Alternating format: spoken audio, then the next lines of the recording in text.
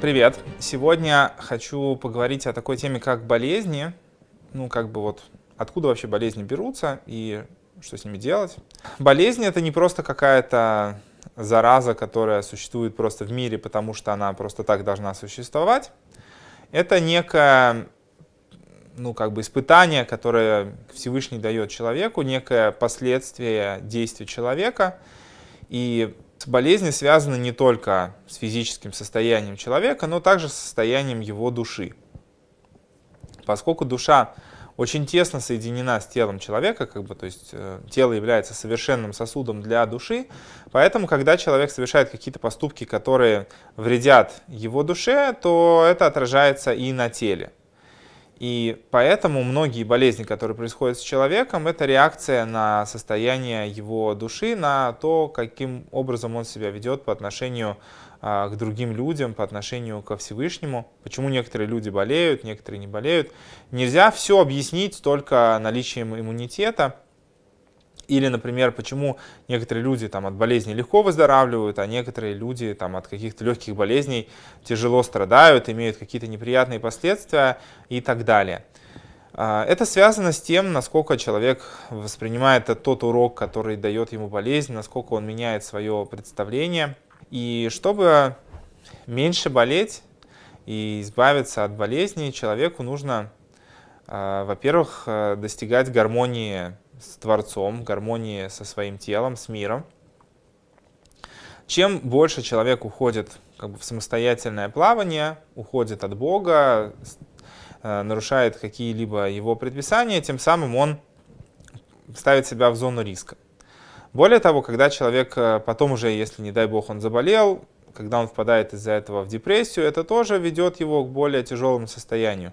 В принципе, известно, что моральное состояние человека очень э, важную роль играет в его выздоровлении. То есть, если человек, например, сдался, то иногда бывает, что его лечи, не лечи, ничего не помогает. И наоборот, человек очень сильной воли, и очень часто бывают истории, когда человек э, полностью перебарывает э, даже болезни, которые, может быть, в его состоянии казались бы не, неизлечимыми, ну или даже если не удается полностью побороть болезнь, человек, по крайней мере, живет часто намного дольше, чем э, врачи со всеми средствами диагностики ему могут напрогнозировать. То, что болезнь является отражением некого духовного состояния человека, э, видно на примере того, как э, Рэб объясняет, почему в наше время такое большое распространение получают различные онкологические заболевания – с тем, что это связано э, с состоянием общества, со состоянием человека в обществе. Что когда каждый человек, он э, думает, что он может жить один, может жить без Бога, без других людей, как самостоятельная клетка. Также раковые клетки, они не приходят извне, это не вирус, который каким-либо образом передается, как некоторые люди думают. Это заболевание, которое возникает внутри человека под воздействием различных э, вещей, причем э, эта болезнь до сих пор находится как бы в активном э, статусе изучения, и несмотря на то, что есть вещи, которые называются как факторами, которые способствуют заболеванию раком, тем не менее нельзя сказать, что это прям гарантирует человеку, что вот он обязательно заболеет или обязательно не заболеет, если он не будет связываться как бы, с какими-то вещами, которые могут этому поспособствовать, не дай бог. Если говорить о том, как эта болезнь может связана быть с состоянием общества, то это вот объяснение такое, что как клетки в организме человека вдруг начинают э, чувствовать себя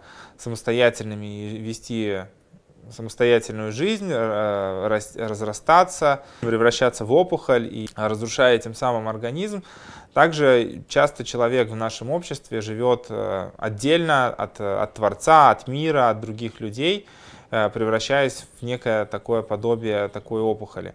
И через то, что мы будем бороться со своим таким ощущением к, к миру, к Творцу и к реальности, этим самым мы будем способствовать тому, чтобы и наш организм тоже соответствовал этой картине, чтобы в нем все работало как нужно, а не ломало э, то, ту систему, которую Всевышний создал изначально работающей идеально. Ведь у первого человека не было болезней, хотя он прожил 930 лет.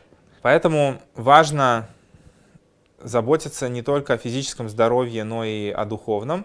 И это будет э, являться тем фактором, который позволит человеку, во-первых, э, меньше болеть, во-вторых, э, излечиваться намного быстрее и с лучшим результатом, чем если он будет впадать в депрессию. Как известная фраза «думай хорошо, будет хорошо». Это не просто вопль отчаяния, что типа, ну, уже ничего не поделать, буду хотя бы думать, что будет хорошо. А это на самом деле реальный призыв, что если человек заставляет себя думать, что все будет хорошо, не теряет надежду и верит э, в окончательное выздоровление, то это очень сильно способствует как раз его настоящему выздоровлению. Эта тема такая достаточно обширная для обсуждения, почему та или иная болезнь происходит, с чем это связано. Не, наверное, это не время сейчас обсуждать. Вот, закончу такой небольшой историей. Был один хасид, который заболел определенной болезнью во времена Цемах Цедека, третьего Любавического Рэба. И когда он пришел посоветоваться с Рэбе, Рэбе послал его в Израиль. Почему? Когда он пришел посоветоваться, а, Рэбе послал его в Израиль, и он туда поехал, и там он выздоровел. Хотя его болезнь была достаточно серьезная, и, в принципе, если бы он остался, было бы, э, если бы эта болезнь у него продолжила развиваться, то, скорее всего, он бы от нее довольно быстро умер. И Цемахцедек объяснил, почему переезд в Израиль помог ему выздороветь. Цемахцедек сказал так, что та болезнь, которая была этого человека, если такая болезнь случается у животного, то, по мнению автора Шульханаруха э, Йосифа Каро, э, эта болезнь дел, не делает животное некошерным, то есть если его зарезают и обнаружится у животного такая болезнь, э, это животное считается кошерным, то есть это болезнь не смертельная для животного. По мнению Рамо, э, который э, является авторитетом Аллахи для шкинадских, для, для европейских стран, такая болезнь делает животное не кошерным. То есть это болезнь, от которой это животное умирает. И поскольку в, там, где проживал этот человек в Восточной Европе, э, шли по, ашкенадские евреи идут по постановлениям Рамо, по его комментариям к Шуханаруху, то, соответственно, для животного такая болезнь для ашкеназов является смертельной, и это животное не кошерно. А в Израиле, где идут по постановлениям э, Бет Юсефа, как и в сефардских общинах, там такая болезнь не является смертельной. И то, что человек переехал э, в те края, где закон постановляется по мнению Бет Юсефа, и эта болезнь не смертельная, повлияло на то, что для него эта болезнь тоже перестала быть смертельной, и он прожил еще долгие годы жизни. Эта история как пример того, что физические болезни связаны с состоянием души человека, с состоянием а, духовных а, сфер, поэтому человеку стоит э, помнить о том, что нужно заботиться о своей душе, нужно э, выглядеть достойно в глазах Творца и Всевышнего, не просто выглядеть, а быть таким, чтобы избегать болезней. Но это не значит, что если человек думает, что у него прекрасные отношения с Богом и с людьми, и если он чем-то заболел, то только этим нужно заниматься, обязательно человек должен идти к врачу, потому что мы живем в этом материальном мире, и все вопросы у нас решаются через материальное действие. Так же, как э, молитва должна быть выражена словами хоть в какой-то мере, то есть человек должен хотя бы устами э, шевелить, когда он молится, чтобы это засчиталось обращением к Творцу. Также и излечение тоже человек должен э, постараться э, сделать все необходимые процедуры, которые предусмотрены медициной в данное время для излечения этой болезни. В общем, я всем желаю доброго здоровья, хороших отношений с Богом и с людьми, чтобы никто никогда не болел. А если кто, не дай Бог, заболел, чтобы скорее наступило полное излечение.